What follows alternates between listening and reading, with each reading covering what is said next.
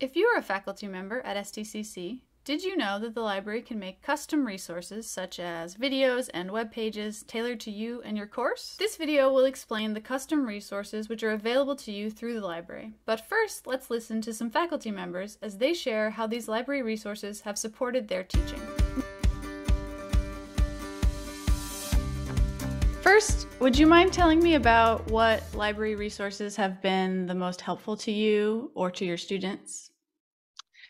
Well, I think um, the first thing would be research materials for developing my coursework. Um, that was my introduction to the library at STCC.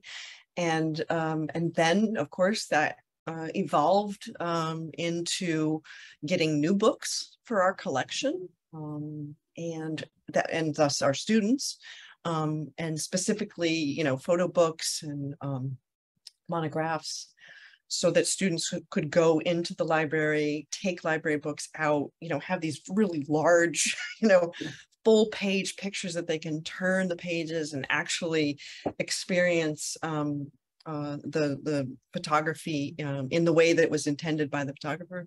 Um, it was it's just always been really really helpful, and everyone at the library um, has always been uh, ready to ready to help. I'm so glad to hear that, and I want to say for people listening that we are always happy to get suggestions of, for books. That's not a, you know, we may or may not be able to to get every single thing, but we always appreciate it. We'd rather buy something if we know it's going to get used. So never feel like you're bothering us. We're always happy to hear hear yeah. suggestions of any kind, really. Yeah. And I was also wondering if you've used any of our custom resources because you might know that we make these things we call libguides, which are basically like uh, custom simple web pages, and we also can make custom instructional videos so that people can kind of just put them in their Blackboard or play them in class. So I'm wondering if you've used any of those.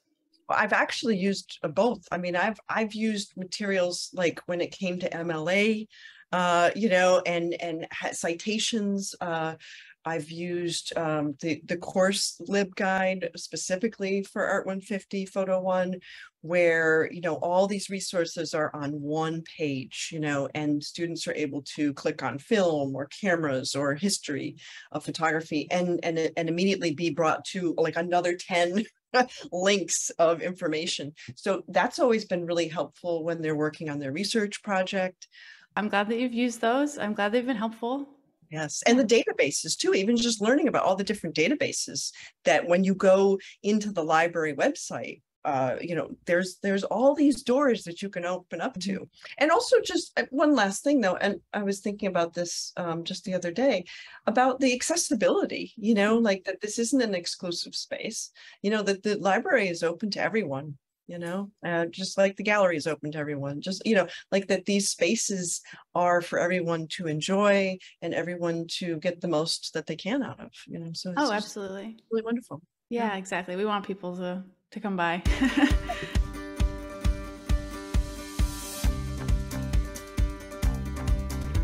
I was wondering if you could tell me just how the library has supported you in your teaching Yes, uh, it supported me in a lot of ways. Uh, when I first started, uh, it was uh, uh, back thick in like 2007. Uh, brought students into the library a lot, things like that, to get them acquainted with it. but more recently, all the digital resources that you have, the different pages for, I'm forgetting the name for like the different topics for U.S. history, like even for the honors program, citations, stuff like that. able to integrate those into my classes, actually put links directly to them in Blackboard, and so this way it just ease. It's to like actually make them part of the menu on Blackboard and uh, send students there. So it's it's a huge help. Um, it uh, yeah, it, it's great to have everything collected like that, uh, vetted by professionals. All that, it's all well done. And so yeah, it just it, it makes my job easier and knowing that I can rely on what, what you all have done there. So it's never great. yeah, never a worry for me. Um, has anyone ever made you a custom video? No, I don't think so. But I do use films on demand where I do create clips uh, from stuff like that. But yeah, cool. custom video. No, I didn't even know that. That, hmm, that would be helpful. Yeah. Yeah, it's like the main the main purpose of this video is just to let faculty know that we make those web pages, we make yeah. videos, and we can make like lists of resources as well. What library resources do you think have been most helpful either to you or to your students? I'd be interested to know either.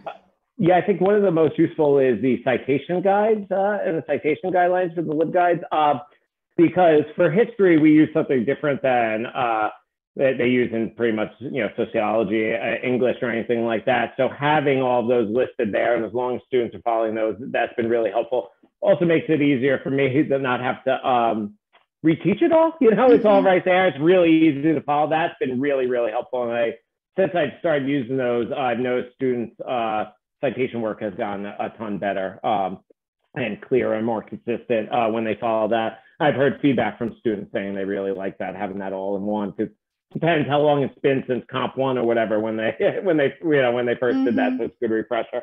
I also like the uh, videos on demand. Um, that's been really helpful, especially in the world history courses I teach, um, because you have to cover so much uh, and so many different areas that it has such great uh, documentaries on there, and some of them are huge. Like especially when I get into history of China, and you're talking about you know thousands upon thousands of years.